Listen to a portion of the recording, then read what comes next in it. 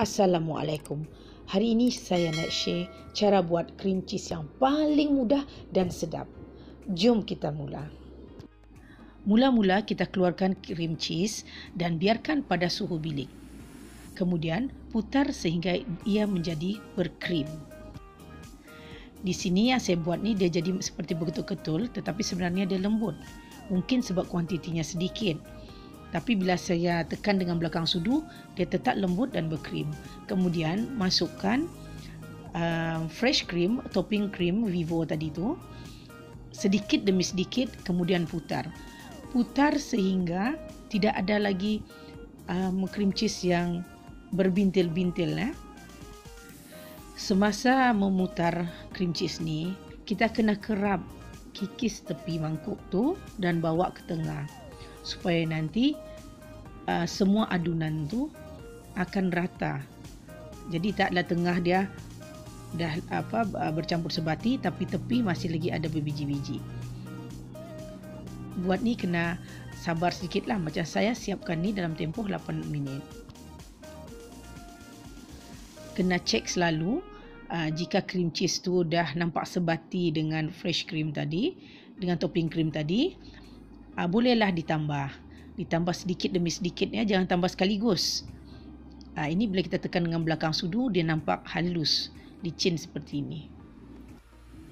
Kenapa kita perlu tambah sedikit demi sedikit topping cream tu? Sebab cream cheese bentuk dia agak pejal dan topping cream tu uh, jenis yang jenis cecair. Jadi untuk dia combine sekali kena perlahan-lahan diadun dicampur perlahan-lahan diputar scribe tepi. Um, memang mengambil masa ya. Jika kita campur sekali banyak nanti um, hasilnya tidak cantik. Akan bergentel akan berbintik-bintik lah. Ada bintik-bintik cream cheese yang tidak sebati ya, macam ni kan? Ha, kalau ada nampak biji-biji begini teruskan lagi memutar lagi satu, cream cheese tu kita biarkan pada suhu bilik supaya bila diputar dia menjadi berkrim. Jadi bila dia terkena dengan benda sejuk, dia akan uh, mudah menjadi pejal sedikit ya. Jadi sebab itulah kita letak sedikit-sedikit uh, topping krim tu, jadi dia tak terkejut lah. Uh, jadi pelan-pelan dah sebati baru tambah lagi. Fresh cream pula tahap sejuk dia bukan seperti pada video saya sebelum ni cara buat topping uh, cara buat fresh cream tu ya yang sejuk berais. Kali ini sekadar sejuk saja pun dah boleh. Ha, tengok begini hasil dia. Jadi setiap kali sebelum tambah pastikan dia halus begini dulu ya. Mungkin uh, ada orang lain buat cara lain yang lebih cepat, lebih mudah tapi saya benda ni saya buat dengan cara seperti ini sebab saya takut membazir sebab cream cheese ni bukan yang murah. Bahan yang salah kita buat ni akan membazir membazir kos dan juga masa dan tenaga kita. Langkah membuatnya senang saja nak ingat. Tiga perkara. Satu, blend. Kedua, kedua kita scrub tepi mangkuk.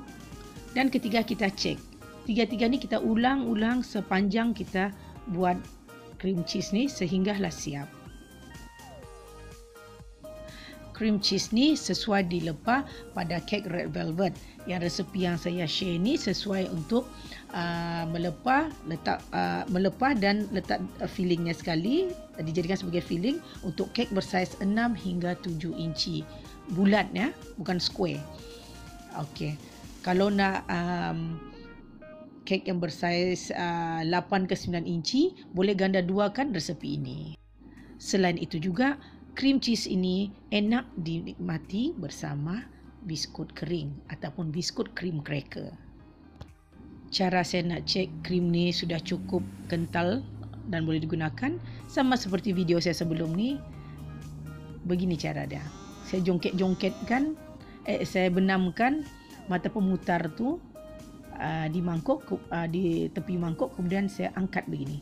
Uh, kalau dah dia firm melekat artinya dah okeylah tu. Bila dah cukup kental, saya keluarkan pemutar mixer dengan cara seperti ini. Ah, seperti video saya yang sebelum tu juga ya.